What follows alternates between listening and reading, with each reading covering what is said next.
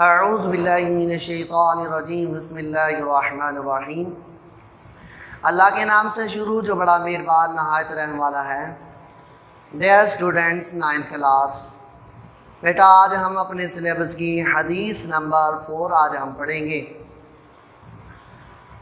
مومنو، تم پڑھتے رہو اپنے نبی پر درود۔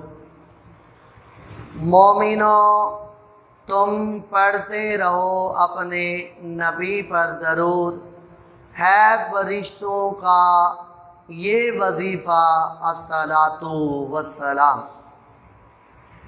عزیز طلبہ اللہ تعالیٰ نے قرآن پاک میں بھی درود و سلام کی فضیلت پارہ نمبر بائیس صورت احزاب میں فرمائی۔ لیکن آج ہم سب سے پہلے حدیث مبارکہ کا ترجمہ کرتے ہیں۔ کہ آقا کریم صلی اللہ علیہ وآلہ وسلم نے فرمایا، من صلی جس نے صلی درود پڑھا، علیہ، مجھ پر. مجھ پر سے مراد آقا کریم صلی اللہ علیہ وسلم نے فرمایا، جس نے میری ذات پر درود بھیجا مرتن ایک مرتبہ درود بھیجا۔ اب ایک مرتبہ درود بھیجنا، یہ آقا کریم صلی اللہ علیہ وسلم نے اس لیے فرمایا کہ اگر ایک مرتبہ درود بھیجنے کی اتنی زیادہ فضیلت ہے، تو زیادہ مرتبہ درود بھیجنے کی فضیلت کتنی ہوگی؟ آقا کریم صلی اللہ علیہ وسلم نے فرمایا، مان جس نے صلی درود بھیجا، درود پڑھا علیہ مجھ پر مرتن ایک مرتبہ فاتح اللہ اللہ تعالیٰ نے کھول دیا۔ اب یہ نہیں کہ اللہ تعالیٰ کھول دے گا۔ فاتح ماضی ہے۔ اللہ تعالیٰ نے کھول دیا لہو اس کے لیے۔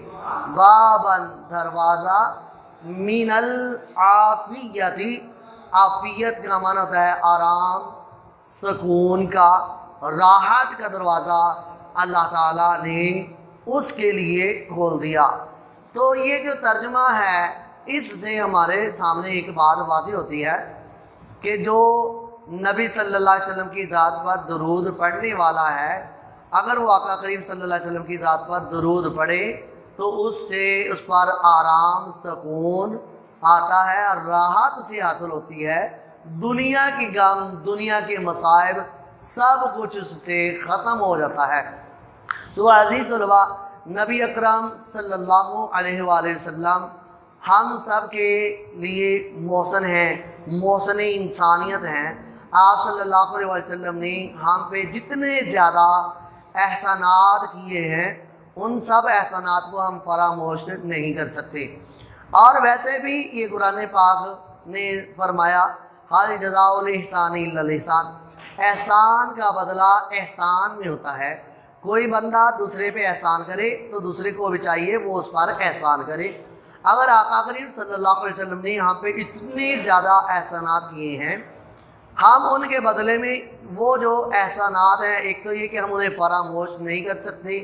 دوسری بات یہ کہ ہم اس کے بدلے میں آپ صلی اللہ علیہ وآلہ وسلم پر احسانات نہیں کر سکتے، کیونکہ آپ صلی اللہ علیہ وآلہ وسلم کی ذات صرف احسان لینے میں اللہ تعالیٰ کی محتاج ہے اب وہ جو سارے احسانات ہیں، ہم ان کو عملی شکل میں، ہم ان کو ایک تو فراموش نہیں کر سکتے، دوسری چیز عملی شکل میں ہم اس پر آپ صلی اللہ علیہ وسلم کے احسانات کا بدلہ بھی نہیں چکا سکتے۔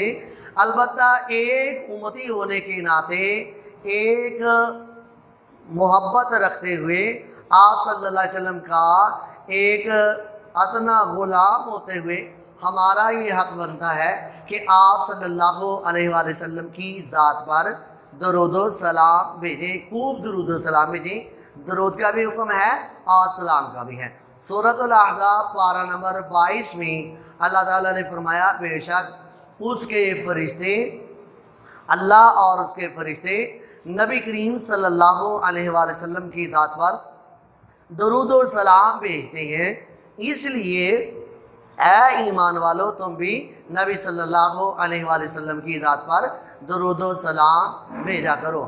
اب آپ صلی اللہ علیہ وآلہ وسلم کی، کے ساتھ ہم احسانات نہ کریں، لیکن ایک امتی ہونے کے ناطے ان احسانات کو فراموش بھی نہیں کیا جا سکتا۔